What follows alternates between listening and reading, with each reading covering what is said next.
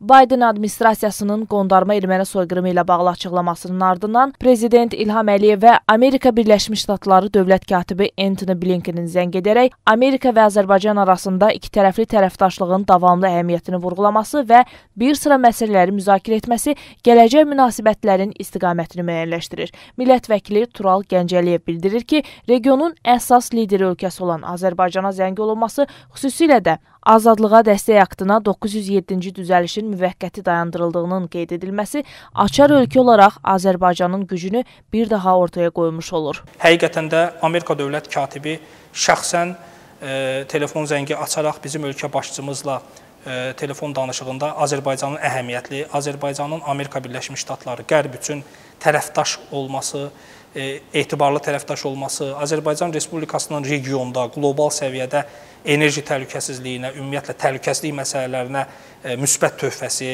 regionda gedən proseslərə necə müsbət təsiri haqqında müzakirələr aparılmışdır. İstər Əfqanistanda Azərbaycan Respublikasının oynadığı müsbət rol, istər enerji e,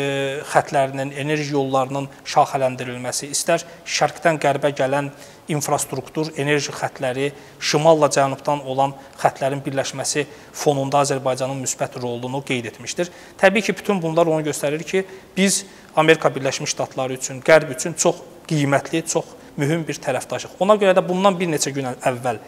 ABŞ-ın Biden administrasiyasının qondarma erməni soyqırımı ilə bağlı e, verdiyi məlum açıqlamadan sonra məhz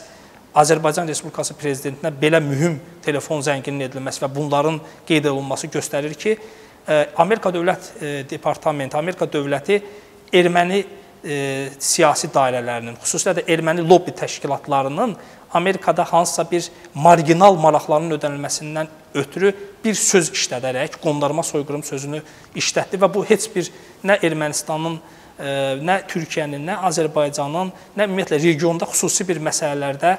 hansısa dəyişikliyə səbəb olmadı. Ermənilər sadəcə o bir sözü eşidərək güya soyqırım məsələsindən bir e, e, məmnunluq duydular. Xatırladaq ki, Amerika prezidenti Joe Bidenin qondarma erməni soyqırım ifadəsini səsləndirməsinin ardından aprelin 28-də ABŞ dövlət katibi Anthony Blinken Azərbaycan Respublikasının prezidenti İlham Əliyevə zəng edərək azadlığa dəstək aktına 907-ci düzəlişin müvəqqəti dayandırıldığını qeyd edib.